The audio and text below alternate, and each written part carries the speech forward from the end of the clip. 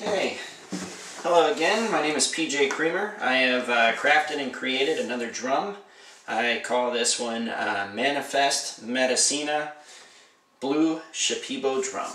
And uh, I'm going to walk around it once or twice just to give you guys an idea of what it sounds like and then see if I can't jam it a little bit for you uh, just to show you how it sings together. Uh, this has matched the key of the original hang drum is what we were going for here. And uh, here it goes.